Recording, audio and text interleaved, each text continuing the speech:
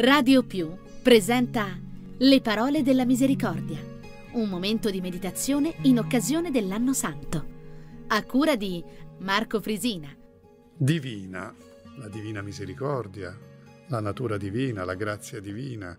Anche questo aggettivo è un aggettivo molto usato nella scrittura, ma cosa si oppone a divino? Non è l'umano che si oppone al divino, ma è il mondano, è il sistema, come direbbe Giovanni, che si oppone a Dio, che è carnale, direbbe San Paolo. Cioè tutto ciò che obbedisce non alla dinamica di Dio, ma alla dinamica del mondo e quindi diventa poi una sorta di antagonista di Dio. La seconda lettera di Pietro ci dice questa cosa bellissima.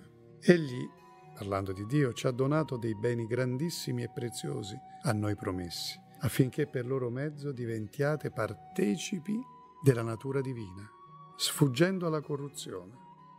Dio ci vuole rendere partecipi della sua natura divina. Ciò che è divino appartiene alla sfera di Dio, così come la sua grazia, così come il suo amore, la sua misericordia. Ciò che appartiene alla sfera di Dio in qualche modo è contagiato da questa divinità. I padri greci usavano un termine che può anche sconvolgerci, la divinizzazione un po' ci fa impressione. Noi siamo chiamati ad essere divinizzati. Ma che vuol dire?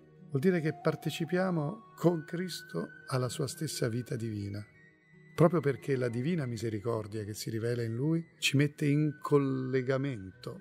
È come se ci facesse una trasfusione di vita divina. E l'immagine della vita ai tralci la rende ancora più evidente. Noi siamo innestati in Cristo e quindi scorre in noi la linfa di Dio.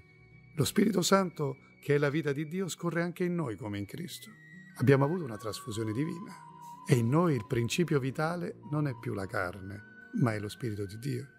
Il principio vitale non è più la concupiscenza che ci fa desiderare le cose perché siamo deboli e fragili e vogliamo il potere, i soldi, il piacere.